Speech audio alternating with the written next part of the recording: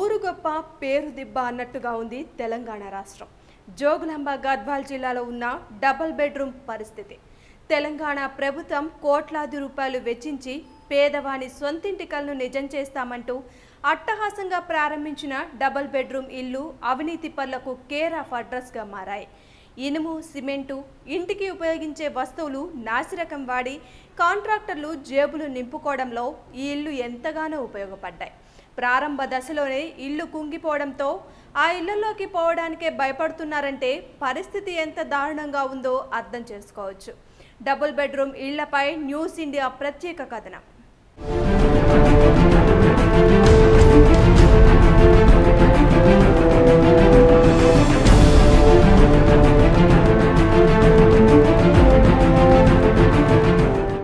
ఇదిగో ఇక్కడ కనిపిస్తున్న ఈ ఇల్లులే డబల్ బెడ్రూమ్ ఇల్లులు.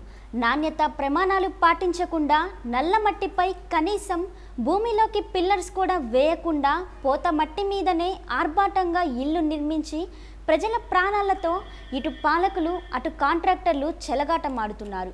కింద స్థాయి రాజకీయ నాయకుల నుంచి పై స్థాయి నేతల వరకు కాంట్రాక్టర్లు లంచాలకు మరిగి నాసిరకం ఇల్లు నిర్మిస్తూ పైకి గొప్పలు చెప్పుకుంటూ అమాయక ప్రజలను మోసం చేస్తున్నారు. माल दाल को अच्छा दर करे तो सब गेहूँ को अच्छा रहता है गेहूँ का नाम आता तो गेहूँ को बड़े दुकान की सब्ज़ी का अच्छा रहता सब शुक्रिया। जरा काम करने वाले गट्ठू गट्ठू जरा अच्छा पसंद से करे तो डबल बेडरूम के वहाँ से जरा नाम रहता गोनपाड़ का नाम रहता काम जरा अच्छा कराने वाले जरा माल की सीमेंट दाल को सीमेंट दाल को जरा अच्छा करा तो काम करा तो जरा अच्छा रहता।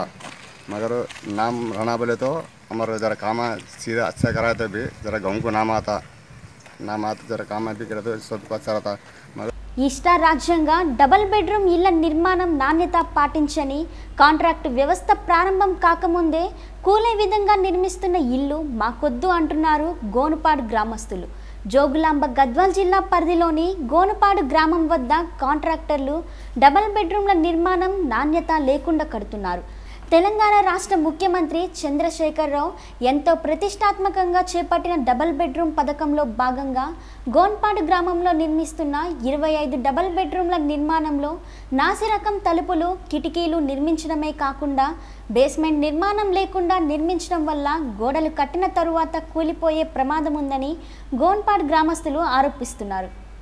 నా పేరు మాది గోన్పాడు గ్రామము. నా పేరు శ్రీనివాస్ గౌడ్. ప్రజెంట్ ఎంపీటీసీని ఇప్పుడు గ్రామంలో? ఇక్కడ నాసిరకంగా డబుల్ బెడ్రూమ్లు కట్టుతున్నారు కాంట్రాక్టు.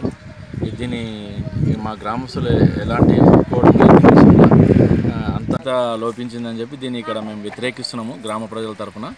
దీని దీని విషయంలో మాకు ప్లింతి భీములు కానీ ఈ బేస్ మట్టము మట్టి బేస్ మట్టం మట్టి ఈ ఇక్కడ ఉన్న లోకల్ మట్టి సౌడి మట్టి సౌడి మట్టి వేస్తున్నారు. అసలు కాడరాయి లేకుండా లోపల ఓన్లీ ఉత్త మట్టి వేస్తున్నారు. భీమ్ భీమ్ ఫీట్ అన్న పెట్టాల? బేస్ మటం రాయి. దీన్ని లేని వలన రేపు ఆల్రెడీ ఇప్పుడు భూ బీమ్స్ నేలకి వంగినాయి. దాని ద్వారా క్రాకులు వస్తున్నాయి ఇప్పటికే రూమ్లు. ఇంకా మొదలే మొదలే దిశనే ఇట్లా ఉంటే ఇంకా వాళ్ళ లబ్ధిదారులు వచ్చి చేరుకున్నాక రేపు పొద్దున వాళ్ళు కగోలు పెట్టి ఏమవుతుందన్న టెన్షన్లో ఉంటారు వాళ్ళు. ఎవరైనా మా గ్రామస్తులే కాబట్టి లబ్ధిదారులు మా వాళ్ళకి మేము న్యాయం చేయాలని చెప్పి మేము ఇక్కడ అందరం గ్రామస్తుల తరపున మేము దీన్ని వ్యతిరేకిస్తూ ఇప్పటికే నిర్మించిన కొన్ని ఇండ్లు భీమ్లు వంగిపోతున్నాయి. అధికారులు కాంట్రాక్టర్లు ప్రజాప్రతినిధులు కుమ్మక్కై కమిషన్లకు కకృతిపడి నాసిరకం గృహ నిర్మాణం చేస్తున్నారు. దీనిపై ప్రభుత్వం స్పందించి సంబంధిత అధికారులపై కాంట్రాక్టర్లపై చట్టపరమైన చర్యలు తీసుకోవాలని న్యూస్ ఇండియాతో కోరారు. నా పేరు రాముడు గోనిపాడు ఈ డబల్ బెడ్రూమ్లకి ఏమో ఒక కనీసం కర్ర వేసలేరు సైజు రైతం కడతలేరు. దాని కొరకు సౌడు మట్టిది కూలిపోతావన్నట్ట. ఎవరున్నా ఉంటారు అన్నట్టు దీన్ని ఏదైనా ఇంత కర్ర అయ్యి సైజు రైతం ఇంత బేస్ మట్టం రెండు వర్షాలను లేపి కట్టాలని మనం చేసుకుంటాం